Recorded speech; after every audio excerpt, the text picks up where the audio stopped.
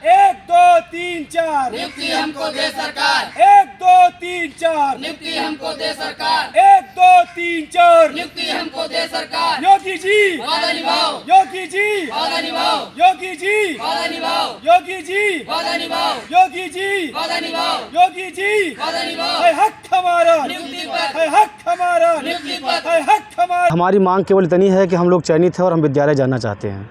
Sir पच्चीस तारीख को केस जो था वो एक छलावा था। तो सर आदेश दिया जाए कि हमारी जो नियुक्ति रुकी हुई है इसको जल्द जो है कार्रवाई की जाए। इको गार्डन का ये स्थल है और आज लगभग चौंतीस से पैंतीस दिन हो गए हम लोग संघर्ष कर रहे हैं। बस हमारी मांग केवल इतनी है कि हम लोग चयनित हैं और हम विद्यालय जाना चाहते हैं। अभी 25 तारीख को आप लोग का केस था क्या हुआ? सर पच्चीस तारीख को केस जो था वो एक छलावा था।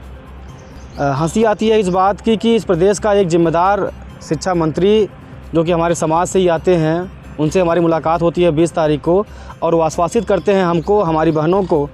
पाँच सात लोग हम लोग डेलीगेशन में होते हैं और उनका वादा होता है हमसे कि 25 तारीख को हमारे एजी उपस्थित रहेंगे डबल एजी उपस्थित रहेंगे और एक प्राइवेट काउंसिल हम आपके लिए भेज रहे हैं और आपसे हम वादा करते हैं कि 25 तारीख को आपके मामले का निस्तारण कर लेंगे।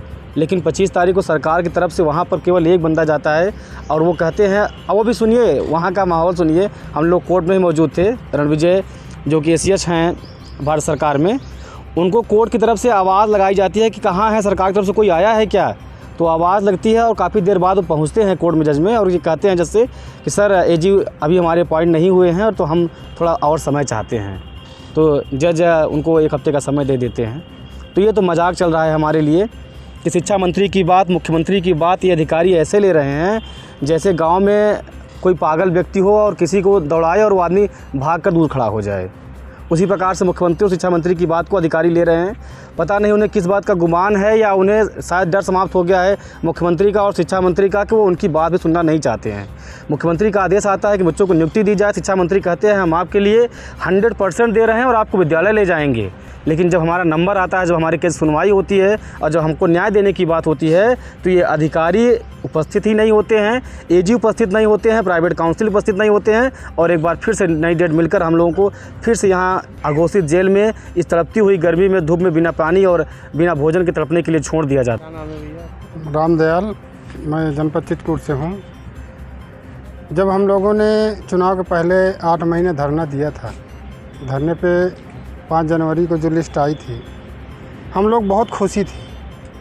हमारा परिवार, हमारे रिश्तेदार, हमारा गाँव, मोहल्ला, सारे लोग खुशी थे। लेकिन आज इस बात का कष्ट हो रहा है कि चुनाव होने के बाद योगी जी दोबारा सरकार बना लिए हैं, मंत्री बन गए हैं। लेकिन न जाने कौन सी परिस्थितियाँ हम झेल रहे हैं। इस इको गार्डन में इतनी गर्मी है, फिर भी हमको नियुक्ति नहीं मिल पा रही। क्या लगता है आपकी सरकार बात मानेगी? लेकिन बात वैसे अभी योगी जी से मुलाकात नहीं हो रही है। और उन्होंने हम लोगों की लिस्ट निकाला है लेकिन उनके जो अधिकारी हैं उनकी वो बात नहीं मान रहे हैं। अगर आप लोग की मांगे पूरी नहीं होती तो आगे क्या कदम रहेगा? हमारी मांगे अगर नहीं पूरी होती तो एक हम बड़ा आंदोलन करेंगे। और इस लखनऊ की धरती को जैसे पिछले आठ महीने में किया था उससे बड़ा आंदोलन करके हम विजय ज़रूर प्राप्त करें। तारीख को भी तो महाआंदोलन किया था। बीस तारीख को महाआंदोलन किया था लेकिन बेसिक शिक्षा मंत्री के यहाँ गए थे। उन्होंने हमें आश्वासन दिया था कि जो 25 तारीख की सुनवाई है उसमें हम अपनी तरफ़ से पूरी तैयारी से उतरेंगे लेकिन उस बात से वो मुकर गए। हम अगली आने वाली 30 तारीख को फिर से एक महाआंदोलन की तैयारी बना रहे हैं। यही परसों जो परसों। उनको करना होगा। अगर नहीं करते तो पूरी लखनऊ की धरती को जाम किया जाएगा। नमस्कार, मैं भोला नाथ ये ये उनहत्तर हज़ार शिक्षक भर्ती के आरक्षण विसंगति का मैटर है। ये मामला जो है उनतीस अप्रैल का है। जिसमें आयोग की रिपोर्ट आती है। उसमें जो है रिपोर्ट आने के बाद हम लोग पाँच, सात से आठ महीने धरने देते हैं। धरने देने के बाद जो है हमारे माननीय योगी जी ने इस मैटर को संज्ञान में लिया। संज्ञान में लेने के बाद अधिकारियों को फटकार लगाई कि ये मैटर को जल्दी जल्दी सॉल्व किया जाए।